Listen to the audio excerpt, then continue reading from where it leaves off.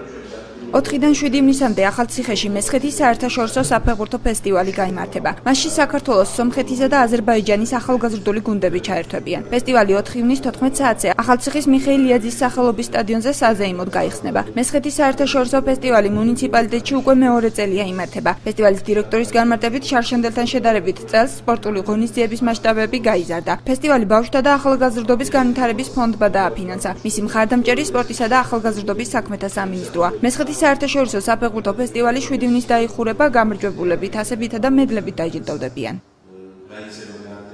და მესხეთში, კერძოდ ახალციხეში ტარდება დიდი საერთაშორისო ფეხბურთი, მასობრივი ფეხბურთი ბავშვებს შორის, სადაც მოწვეული იქნებიან ჩვენი თუ მეზობელი ქვეყნებიდან საფეხბურთო კლუბები, ეს არის ომხეთი და აზერბაიჯანი.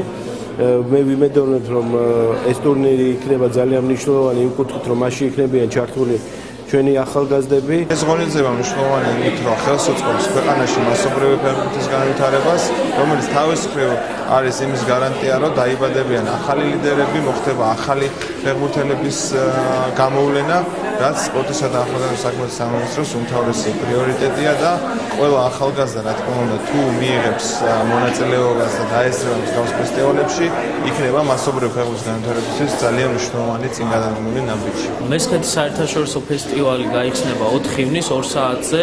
წელს განსხვავებით სხვა წლებისგან გავაფართოვოთ ფესტივალი და ჩართული იქნება საქართველოს რეგიონები ყველა ასევე ველოდებით აზერბაიჯანიდან, სომხეთიდან საფეხბურთო გუნდებს.